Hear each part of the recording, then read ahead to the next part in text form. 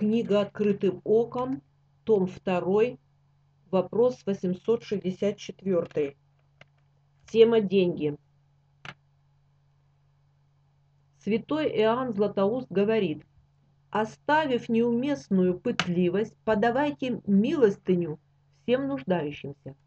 Смотри на достоинство нуждающего в помощи, нуждающегося в помощи, Смотри не на достоинство нуждающегося в помощи, а только на нужду, хотя бы он был ничтожен, низок и презрен. Ясно, что здесь говорится не о христианах, кому нужно подавать, а о каких-то опустившихся людях, вероятно, и о пьяницах. Так всем подавать милостыню или нет? Отвечает Игнатий Тихонович Лапкин. Пространный ответ можете прочитать в нашей книге «К истинному православию» в главе о милостыне.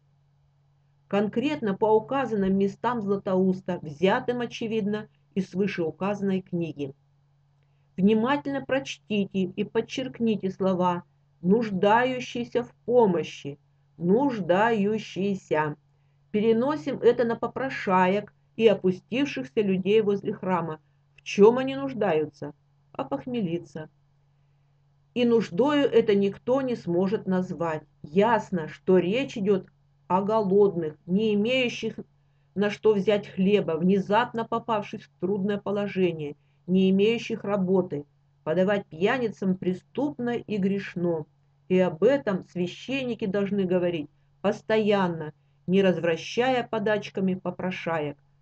2 Петра 1.5 то вы, прилагая к всему все старание, покажите в вере вашей добродетель, добродетели рассудительность.